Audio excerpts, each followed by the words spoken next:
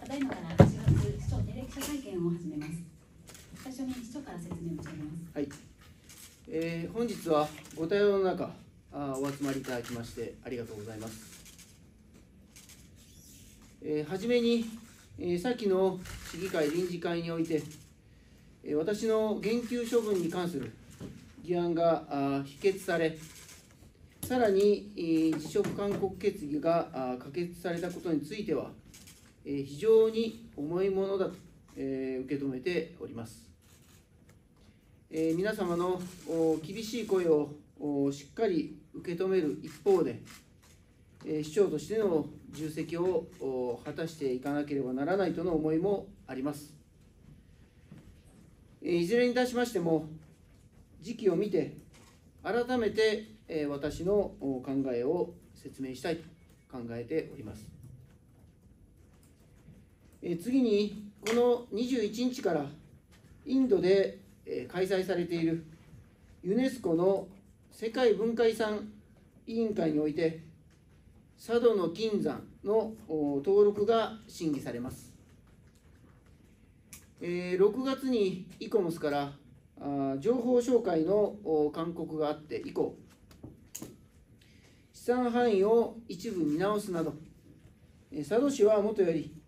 国県が一丸となって、取り組まれており佐渡の西の玄関口である。当市といたしましても世界遺産文化世界文化遺産の登録を大いに期待しているところであります。なお登録実現の際には市を挙げてお祝いしたいと考えておりますので、えー市民の皆さんも一緒に盛り上げていただければと思います。次に上越の夏を彩る。高田城址公園。関連会が13日から。祇園祭が昨日から始まりました。8月24日と25日に開催される。第99回謙信交際では上杉謙信公役として元宝塚歌劇団越野龍さんをゲストにお迎えし来年の第100回目の節目に向けて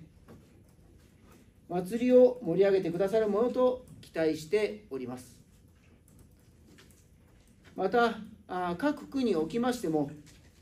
さまざまな夏のイベントが開催されます、えー市民の皆さんもはじめ帰省される皆さんや当市を訪れる国内外からの観光客の皆さんからも足を運んでいただき楽しい夏の思い出を作ってもらいたいと思います、えー最後に、えーこれから本格的な夏の季節を迎え気温が30度以上の日が続く続くことが見込まれ熱中症の危険性も非常に高くなります。市民の皆様におかれましては熱中症警戒アラートや熱中症特別警戒アラートが発表されるような暑さが厳しい日には外出をなるべく控え屋外での運動を中止するなどの対策を行っていただくようお願いいたします。やむを得ず外出する際や外出先で危険な暑さに見舞われた場合には市内の公共施設のほか民間事業者からもご協力いただき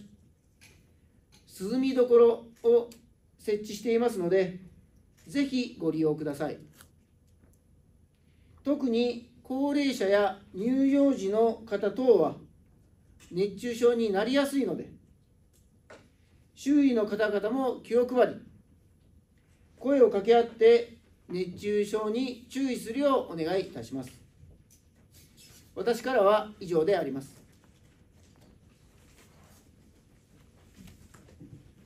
それでは質問を受けしてまいります。はじめに幹事社谷助さんお願いいたします NHK の坂本と申じめに幹事社から質問させていただきます。はいえーと辞職勧告決議を受けて、えーと私の考えを伝えたいというふうにおっしゃいましたけども、私の考えというのは具体的にどのようなものを指すんでしょうか？はい。えーとまあ、このお度のですね言及で、えー終わりにするつもりはあなかったのですが、あそのように、えー受け受け取れ受け取られたこと、また辞職勧告決議案が可決されたことを受け止めて、今後どのように考えていくべきかという意味で、お話ししたものであります。まあ、繰り返しになりますけれども、時期を見てままた改めて私の考えを説明したいと考えております。えーその考えという中には、えー辞職するですとか、そういった身体も含めてというような認識で間違いないですか。はい、あのーまあ、そうですね、まあ、私としてはですね、えーこれからもお市長としての、おまあ、あー任務については、えーそうですね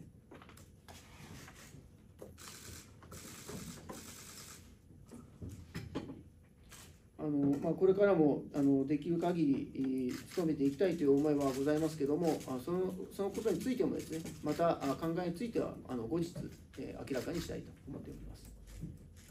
現時点では、えー辞職するつもりはないというような考え方違いないでしょうか？はい、あのまあ、私、今後の対応については、やはり後援者や支援者と相談した上で、えー自分自身でえー判断していきたいと考えております。えーこの考えをあの後日示したいということだったんですけれども、この、えー後日というのはいつあの表明するんですか、そういうつもりなんでしょうか。今の段階ではまだ明らかにできないと思っております。まあ、目処といいますか、まあ、あのあまり長期化すると、またそれはそれで問題になってくるかなと思うんですけれども、そのあたりの考えは何でしょうか。はい、あのまあ、梅雨明け後には議会運営委員会もあるというふうにお聞きしておりますので、えーまあ、そのあたりも、おまあ、目処にしながらと思っております。市長おお盆の梅雨ではなくてあすみません、えっと、お盆あお盆後にですね、えー議会運営委員会があるというふうにお聞きしておりますので、えーそのあたりが目処なのかなと思っております。じゃあ、えー、とこちらとしてはあのそのお盆後のあの議会運営委員会までに考えを示したいと認識でいて大丈夫ですかね？はいあのまあ、あそのあたりで判断できるうかどうかは分かりませんけども、おそのあたりは一つの目目処としては考えたいと思っています。わかりました。えっと、今回、まあ、辞職勧告決議に、まあ、至るまで問題から1ヶ月余り経ってますけれども、まあ、6月の発言によって、あの市政の混乱を招いているという認識、市長にございますか。はい、あの公務を含めて、えー、市政に影響が生じていないとは言えないと思っております。今後の、まあ、そうした、えーさらにこう考えを示すということで、またさらに1ヶ月ほど、えー時期があると思うんですけれども、今後への影響をどのように考えますか？はいまあ、私としてはあー今あー与えられている公務についてはしっかりとお対応していきたいと思いますしこれからもやはり、まあ、私の不適切な発言については、反省をしながらこれからも、皆さんに、え信頼回復のための努力は続けていきたいそのように考えております。わかりました。え前回の会見で、えっと、反省し、まあ、それを改善するために、えっと、コミュニケーションのあの指導を受けているというお話ありましたけれども、その、まあ、現在の進捗ですとか、どういった指導を受けているのかというのをご説明いただけますか。はい、えー具体的なことはなかなか申し上げられませんけども例えば話す時の私の心の持ちようであるとか、えーまあ、話す時の、まあ、いろいろなあ、まあ、配慮の仕方であるとかそういったものを今あ学んでおりましてえそれをこれからもあの発言の中で注意しながら、え取り組んでいきたいと思っております。わかりました。NHK から以上で大丈夫です。では続けて、えー各社からご質問お願いいたします。新潟に新潟日報です。よろしくお願いします。えっと、辞職勧告決議案の関連で、えー伺いたいんですけれども、えっと、勧告が可決されてから、えーまあ、もうちょっとで1週間になると、で土日も挟んで、えーいろんな人の意見も伺っ上で、まあ、今日の会見では、えーまだ判断には至らないというふうに、えーおっしゃってましたけれども、その判断に至らなかった理由、まだその、えー決断しきれない理由というのは、どういったところがあるんでしょうか？はい、あのまあ、どちらにしてもあのいろいろなあその、まあ、状況を判断した上でですね、えー最終的な決断をしていきたいと思っておりますので、えーそういう意味ではまだまあ、判断に至る時期には来ていないのかなと思っております。そのまだじゃあ、状況が見極めきれてないってことですか？はいあのまあえー今までその自自称勧告決議がされて以降はですね、えーまあ、いろいろな速やかな辞職を求める声もありますし、まあ、不適不適切な発言ではありますけども、まあ、この間の市政の方向性を評価していただいているところもありますので、えー続投を望む声もあの聞いておりますので、そのあたりを踏まえながらですね、今後また判断をしていきたいと思っております。その早く辞めた方がいいとかあの、まだ続けた方がいいっていうのは、市長がその辞職勧告決議案を可決されて以降、その支持者の人とかに、えー話を聞く中で出てきてるってことですか？えっと基本的にはその、おまあ、今あ、メールとか電話で、えー苦情とかいろいろな意見をあの受け付けておりますので、えーそのあたりで、えーそういったあご意見もあるということでございます。それは市長に直接っていう形じゃなくて、えー、と従前の通り市役所の方に来てるってことですか？はい、あの市役所の方に来ているものもありますし、私のところに直接来ているものもあります。その改めてになりますけれども、市長としてはまだあのその市長の任についてはできる限り努めたいという気持ちがあるというふうにおっしゃってましたけれども、こう市長として任期を続けてやりたいことっていうのは何になるんですか？はい、あのえー前の記者会見でも申し上げましたけれども、まあ、例えばその地域自治であるとか、あその通年観光であるとか、課題はあたくさんありますので、えーそのあたりのことをやはり、えー私の、おまあ、中でですね、えー道筋をつけていきたいと、そのように考えております。そのこういった中で議会から、まあ、あの持続勧告決議案可決されたとしてもこういったあの公約っていうのはこの任期の上あの中で実現は可能であるというふうな認識であるということですか？それについてはまたあの今後考えたいと考えていきたいと思っております。できないかもしれないということですか？ですので、えーこれからあそれも含めて考えていきたいと思っております。そのもしかしたらできないかもしれないっていうのがそのやり続けたいという気持ちがある一方であのなんていうかあ判断に至らない部分の理由になってるっていうことですか？はい、あのまあ様々な状況を判断あの加味した上で私としては最終的にえー自分で決断したいと思っております。その、えー先ほど市政に影響が生じてないとは言えないというふうにおっしゃってましたけれども市長の目からして具体的にどういうところに、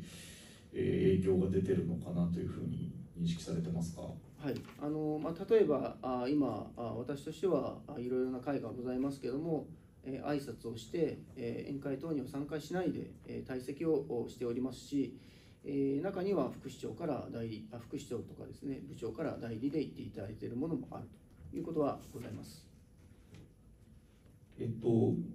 こうした状況の中でもまだ続けることは可能だというふうな気持ちは残っているということですよね。はい、あのまあいろいろなあ状況を見た上で最終的にはあの判断したいと思っております。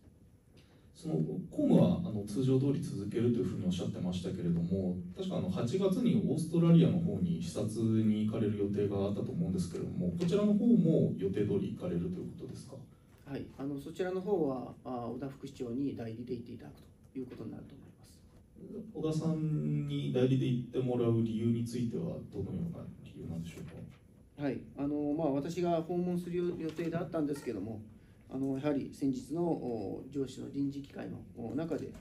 えー審議結果などを、まあ、重く受け止める中でですねさまざまな状況を判断して、えー小田副市長に訪問してもらうことにしました。その通常通り公務を続けるという中で別に言ってもいいような気もするんですけれども何がこうネックにさまざまな状況というふうにおっしゃってましたけど何がネックになっていかないんです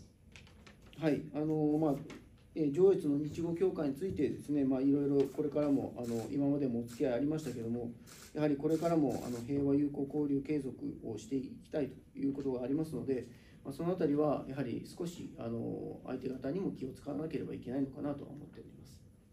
それは日豪協会に気を使わないといけない？日語協会もそうですし、赤浦市との交流についても気を使っていかなければいけないと思っております。それはあの辞職勧告が出されて考えあの身体について考えている状況ですという主張が、えー、と行くと何らか差し障りが出るんじゃないかっていうような配慮のもと今回は行かないってことですか？はい、あのまあ、どちらにしてもあの、まあ、今の状況ではあー、えー行く状況にはないのかなと思っております。わかりました。えっ、と最後なんですけれども、その言及の案が否決されていると思んですけれども、責任の取り方については現状何か考えてらっしゃるところありますか？はい、あのまあ、新しくですね言及案を提案することは今の現状ではなかなか難しいのではないかというふうに考えております。で一方でですね、えー給料5ヶ月全額をか、えー減減給する覚悟であったので何かできることはないのかなということは今考えているところでございます。その新しく言及案出すのは難しいっていうのは出してもまた議会で否決される可能性があるというふうな認識があってそのように考えられてるんですか。はい、あのまあいろいろな状況の判断の中でそう考えております。いろいろというと？はい、あのまあですので、えーまあ議会でのその臨時議会の中での皆さんからの声も含めてですね、その中で判断しているということでございます。そのまああの何らかの方法が別の方法で返す方法はないかなというふうにおっしゃってましたけれどもあのまあえー例えばあの名古屋の川村さんかな？が、えっと、同じように市長と同じように言及案否決されてそれであの政界を引退した後に、えー市の方にあの3ヶ月分の、えー否決された分の、えー給料を寄付するというような考え方示されてましたけれども、えーそういった考えもある状況ですか？まああのいろいろな選択肢の中で考えていきたいと思っております。はいわかりましたありがとうございましたお願いいたします。ジョージタイムズさんお願いいたします。ジョイスタイムスの上原です。えーといくつか質問をいたします。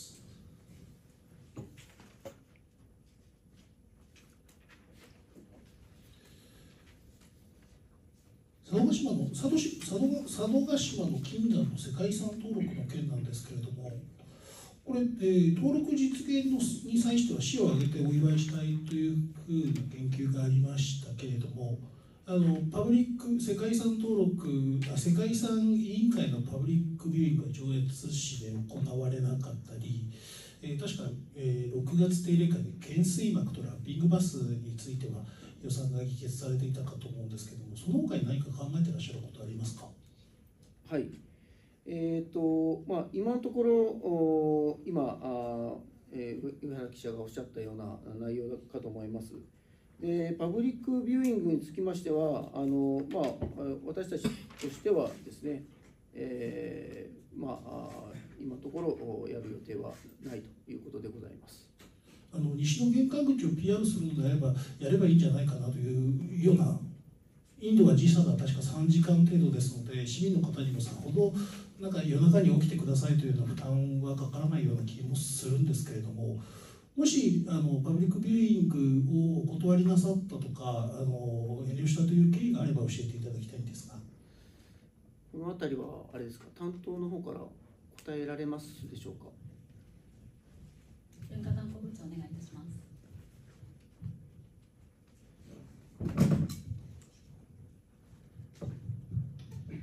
えー、私の方から、えー、お答えしたいと思います。あのパブリックビューイングに関しましては、当時として、えー、もともと、えー、とするかしないかという検討を行,、まあ、行っていなかったというか、あの基本的には祝意を表明する中で、どういうことがいいんだろうかという中で、今回、えー、6月えー、と6月議会でも提案を、うんえーさせていただいた、えーライトアップだったりとか、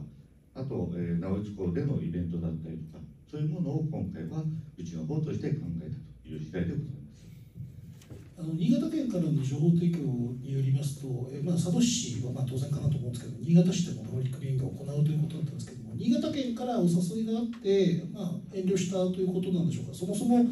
パブリックビューイングそのものを上越としては想定しなかったということでしょうか？えーそもそも上越市として想定してなかったということでございます。はい、ありがとうございます。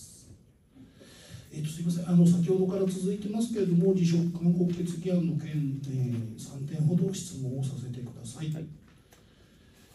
まあ、あの辞職勧告決議案が可決されて、えーし市が市長が提出した、えー給与の減額に関する条例改正案が否決された、えーかつ全会一致で否決されたということでございました。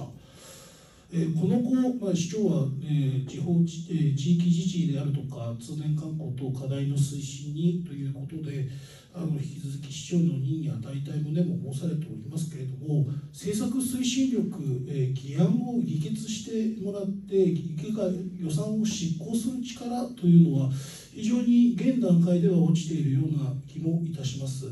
今後、えもう1ヶ月もすれば9月定例会声が聞こえてくるわけですけれども、どのように議会と向き合っていかれるのか、所見をお聞かせください。はいえーとまあ、私としては今まで、え掲げた公約を着実に一つ一つ丁寧にやっていくということで、えまあ、議会の皆さんからもご理解いただきたいと思っております。あの市長に対して一度ノーを突きつけた議会が分かりましたということで、まあ、是非という言葉もありますけれども、すべての議案に対して今まで通り賛意を示すかどうかというのは非常に不透明な状況かとも思いますけれども、その辺についてはどういうふうな議会対策されるでしょうか？はい、あのその辺については、やはり、えー9月議会前には、私自身の今後のことについては判断をして、皆さんに表明をしていかなければいけないと思って。そうすると、まあ、議会の対応を見極めたいというのが最も大きなところになるでしょうか？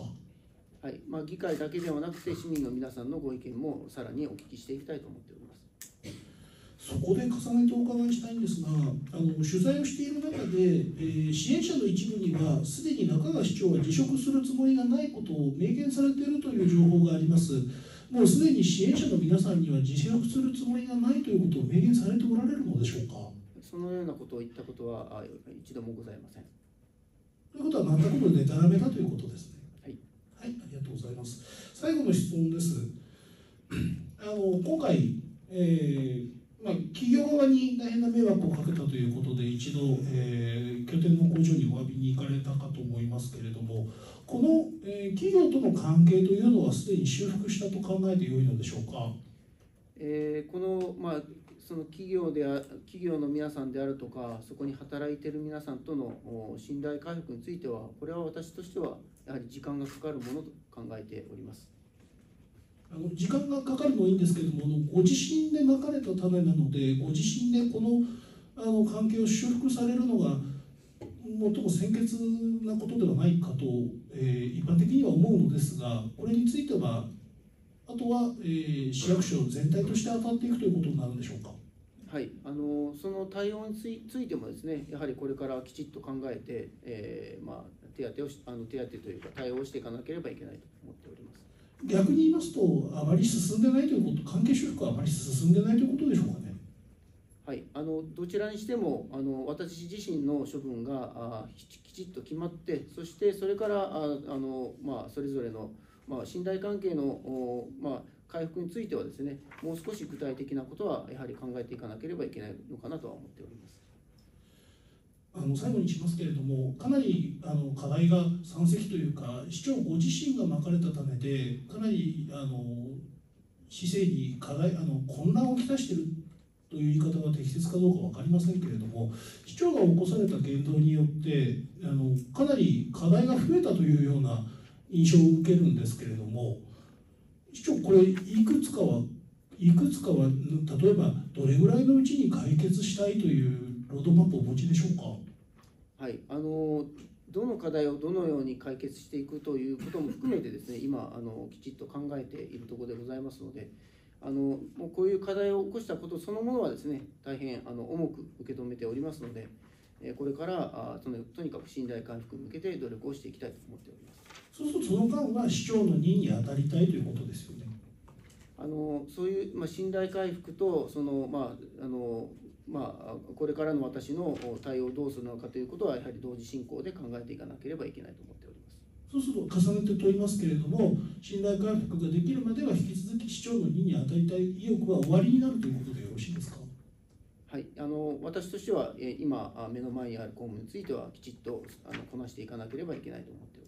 すみませんあの公務でなくて信頼関係の再構築の件なんですけれどもはい、あの信頼回復のあの再構築についてもですね、これからあきちっと計画立ててやっていかなければいけないと思っております。はいありがとうございました他ご質問ございませんでしょうか？読売新聞お願いします。えーと読売新聞中瀬です。えお願いします。あのしまあ、身体に関してですね、あらゆる選択肢という言い方をされてるんですけども、あのもう、えー辞職勧告が、可決されている、まあ、法的拘束力はないですけども、辞めるか続投するか、この2つしかあの身体としてはないと思うんですが、今までのちょっと市長の話を聞いてるとですね、えー辞職についてはもうなんか選択してないような雰囲気。あのもう減額ではもう多分もう無理だっていうのをご自身もおっしゃってますけども、えー他の方法を考えて辞職しないというような選択をしているような印象を受けるんですけどもそうではないんでしょ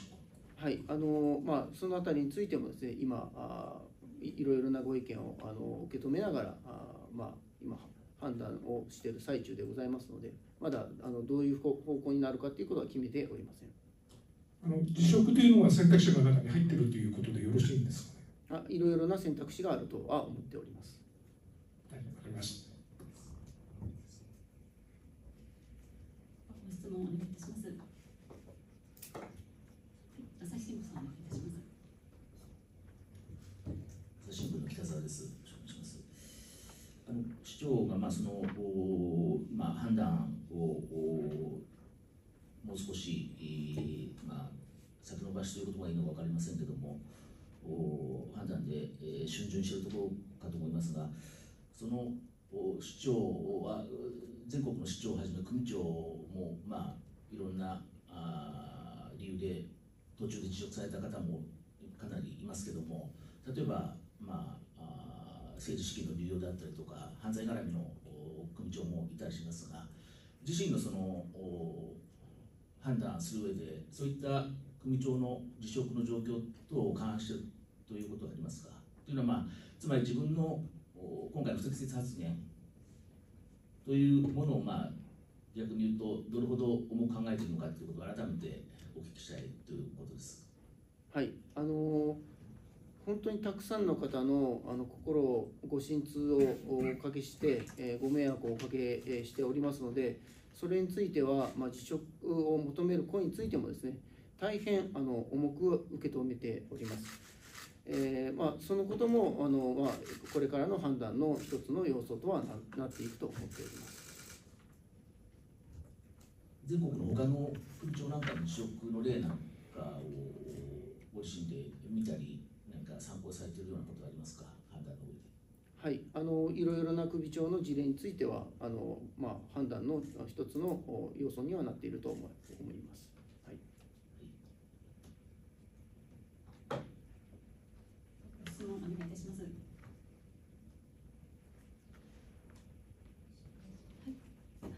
NHK さんお願いします。NHK の坂本です。繰り返しで申し訳ないんですが、えっと、考えを表明するという話ありましたけれども、その表明の仕方っていうのは、えっと、こういった会見をまた、えー臨時で開かれるのか、それともこう、まあ、議会運営委員会の中でこう説明することで、まあ、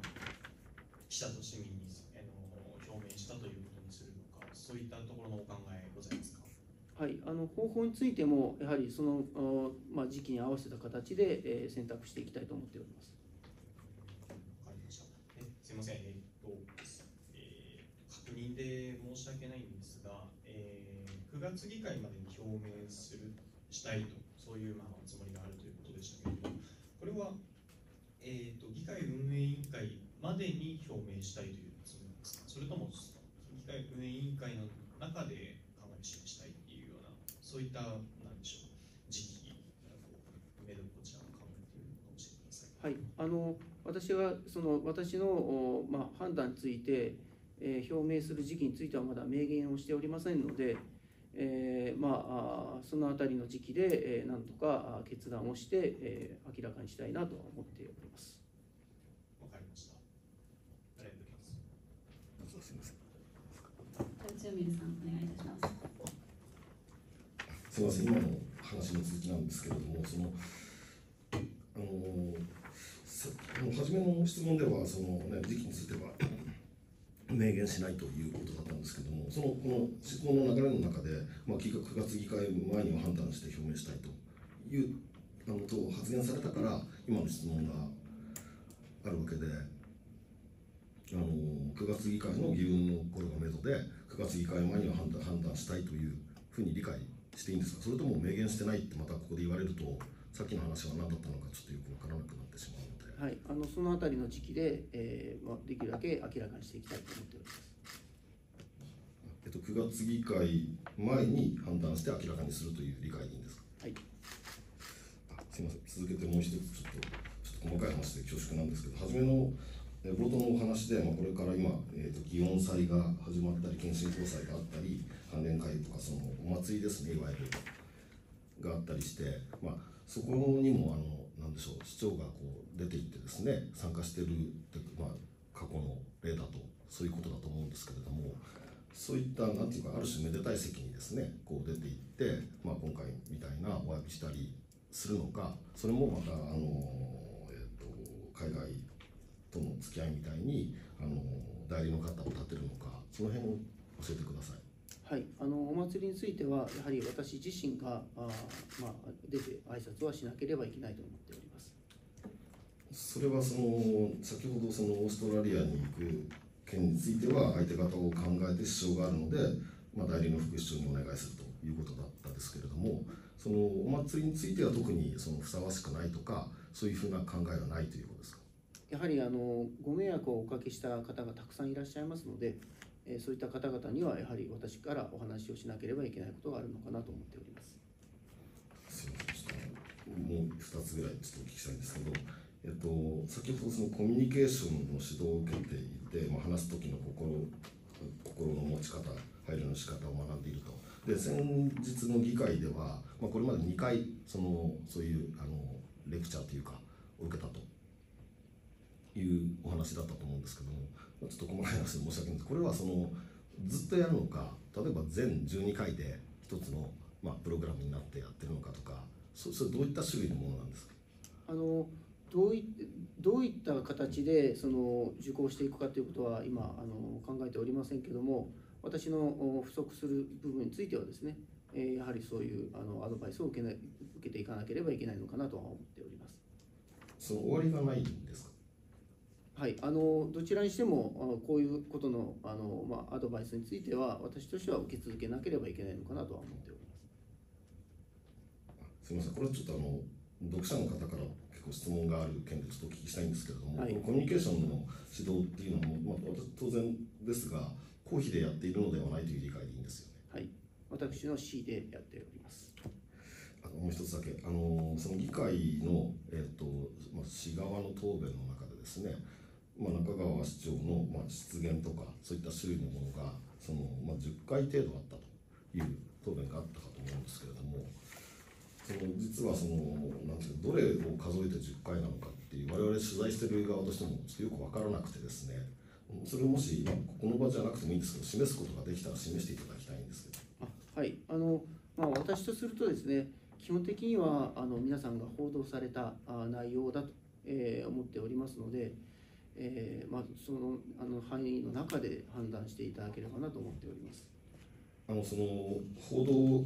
された内容とか報道機関とかいろいろあってですね、はいそれそれのどれがその問題の発言だと捉えるかというのはそのまさにその10回と数えた方々の主観の問題なのでこちら側からちょっとどれが当たるかっていうのは見ても分かんないんですよ。はいなのでもしこれとこれとこれですよってことが言えるとしたら、まあ、示していただきたいなと思うんですけれども。はいまあ、あの私たちとすれではですねやはりあの議会において取り上げられた発言を含めてですねやはり皆さんの中で報道されたものがあを確認したものであるというふうにお聞きしておりますのでそれ以上のお答えはできないのかなと思っております。はい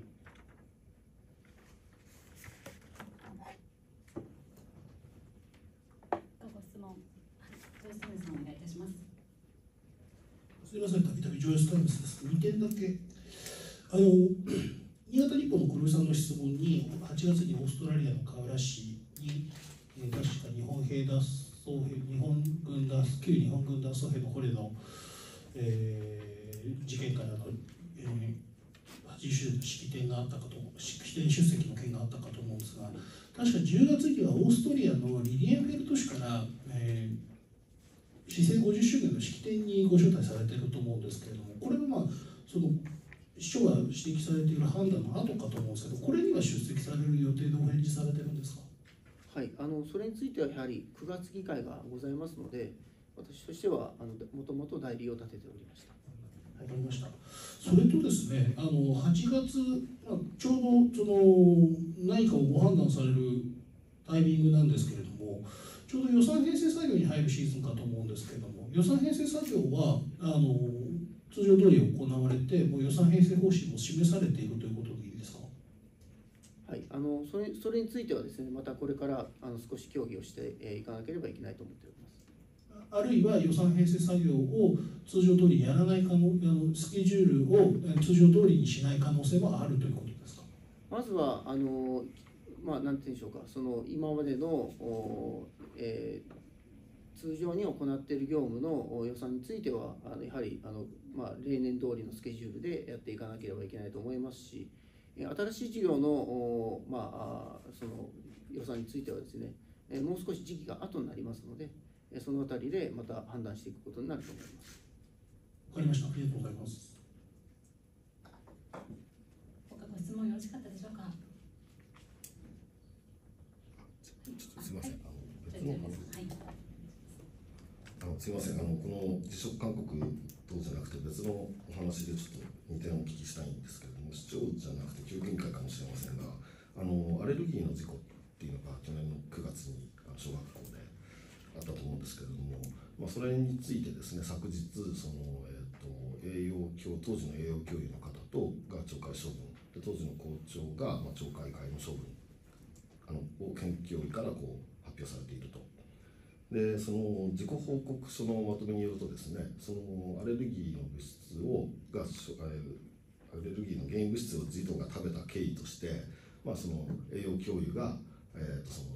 なんと成分表のようなものを取り寄せ取り寄せるのを怠ったと、まあ、昨日の発表の処分はそれについて懲戒処分を受けているもう一つは市が委託する給食業者の人たちがその投入時とか